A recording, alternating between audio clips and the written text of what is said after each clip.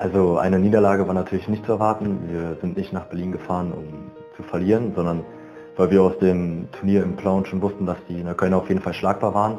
Es ist umso bitterer, da sie heute auch schlagbar waren, aber wir durch viele individuelle Fehler und mannschaftsdienliche Fehler leider ähm, den Sieg aus der Hand gegeben haben. Vor allem im defensiven Bereich ähm, haben wir sehr oft nachgelassen und äh, die Neuköllner zu, zu, leichten Tor, also zu leichte Tore ermöglicht und ähm, das war glaube ich ein bisschen der Knackpunkt heute.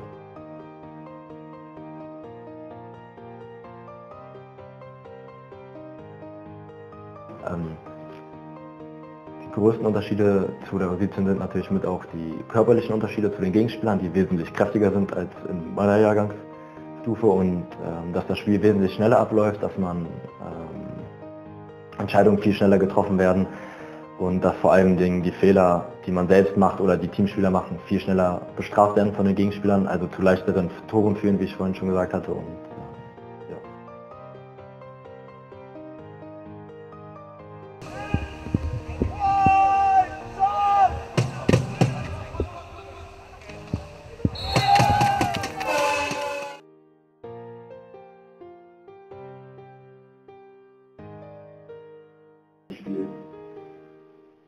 Ich bin recht zufrieden mit meiner Leistung. Sie war in Ordnung, obwohl ich natürlich auch in der Verteidigung Fehler gemacht habe, aber trotzdem konnte ich mein erstes Bundesliga-Tor heute schießen.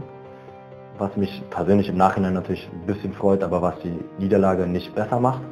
Und ähm, ich hätte mich natürlich mehr über einen Mannschaftssieg gefreut, anstatt jetzt über mein einzelnes Tor. Das wäre mir wichtiger gewesen.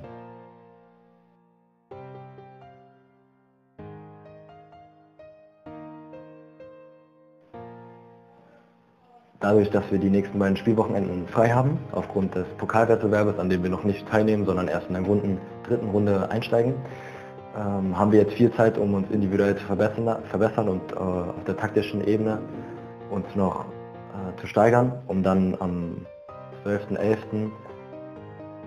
perfekt vorbereitet gegen Bayer Oerdingen ins Wasser zu steigen und dann unseren ersten Sieg der Saison einzufahren.